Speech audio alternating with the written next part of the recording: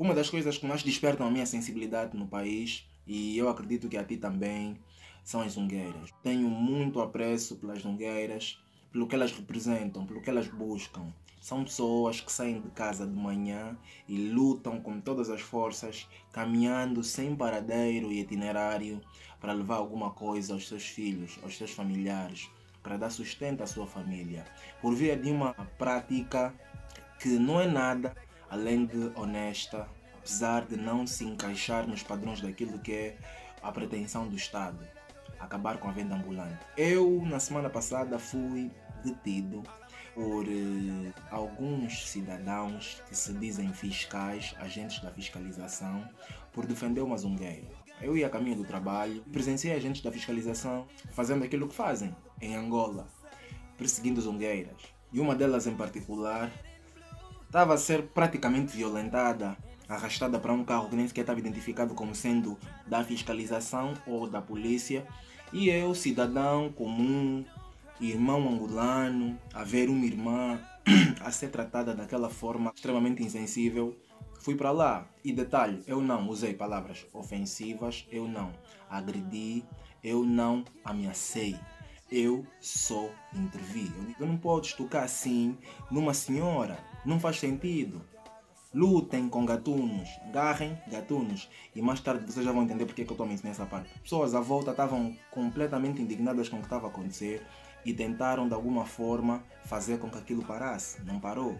Eles ainda ameaçavam as pessoas. Estavam cheio, tá a abusar o quê? Tá brincando, hein? Vou te bater. Eu estava a ser seguido pelo carro da fiscalização que parou para me prender. Eles, eles, a ideia nem era me prender, eu acho. Eles queriam me agredir, eles desceram em peso, me agarraram. A sorte é que havia um agente da polícia que veio ter conosco e afastou os jovens de mim, me colocou no carro e pediu para explicar o que, é que se passa. Eu expliquei.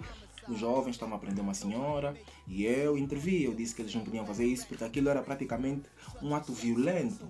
Do jeito que eles chegaram lá e começaram a, a operação, eu me senti indignado, como irmão angolano que sou, a ver uma senhora a ser tratada daquela forma. E começou a confusão. Eles distorciam tudo o que eu dizia. Começaram a explicar a versão dele. Quando haviam mais pessoas a intervir no local. Naquela confusão toda eu fui levado para a esquadra para ir para uma cela consensualmente entre os agentes da fiscalização, supostamente vamos assim dizer, porque fiscalização para mim não é aquilo que eles fazem, e agentes da polícia no local. Nem todos os agentes da polícia estavam de acordo com o que pretendiam fazer comigo. Yeah. Haviam lá policiais fixos, mesmo bons. Mas eu já reparei que são a minoria e acabam por não ter tanta influência quando vão tomar decisões parecidas. Disseram que eu tratei os jovens por gatunos. Lembram-se quando eu disse que eles deviam agarrar gatunos em vez de. Yeah. As minhas palavras não significavam nada porque tudo o que eles diziam passava por cima do que eu dizia. Já era praticamente um complô organizado. Estava sem carga, acho que só tinha 8% de carga no telemóvel, não tinha muita coisa para fazer. Havia um agente que me cedeu o telefone para ligar para alguém. Eu pensei entre ligar para minha família e, e preocupar minha família, não, eu vou tentar ligar para alguém que me possa tirar dessa situação com mais rapidez. Mandei uma mensagem para o meu grupo de trabalho, avisar com os detalhes todos. Eles avisaram a minha chefe, a minha chefe comunicou a um colega nosso que foi lá ter. Ainda estava uma situação um pouco densa, tensa, e segundo o que estavam a dizer, nós, nós íamos para o tribunal no dia seguinte, de causas sumárias. Eu estava a olhar para aquilo tudo como: What the fuck, bro? Eu só defendi uma senhora. Vocês estão malucos ou assim? Mas eu mantive a minha calma, na esquadra eu não me estressei, não distorci o meu discurso. E também eu já percebi que quando tu tens inocência em ti, quando és inocente, tu não te preocupas, tu nem tens a necessidade de elaborar tanto as tuas respostas, nem nada. Eles é que estavam preocupados em me incriminar, já que eles não conseguiam me agredir, estás a ver com o que, é o que eles queriam, porque um deles até disse: Eu vou te bater. Ameaçou assim, apontar o dedo na minha cara. Eu fiquei a pensar assim: Ei, estava aí trabalhar, tinha uma pauta para fazer agora. Assim estou aqui mesmo na esquadra porque todos esses senhores entendem que eu tenho que ir para a cela porque desacatei, desacatei uma autoridade. O problema é que eles não permitem que o cidadão comum se dirija a eles, nem, nem que seja para reivindicar os seus direitos, para dar conselho, para tirar satisfações, eles não permitem, entendes? Já há uma barreira entre essas pessoas e os cidadãos comuns. Não que eles não sejam comuns, porque são comuns como qualquer pessoa no país. Só, só pedi a Deus para me tirar daquilo porque eu iria para uma cela. Já estavam a receber os meus pertences para guardar e tal. Meu colega felizmente conseguiu. Fecha não, não aconteceu e no final nós nem pagamos porque conversei com os agentes quando saí, porque eu fui parar para. Eu fui, fui lá para a esquadra num carro da polícia. E sentado, tipo, marginal mesmo.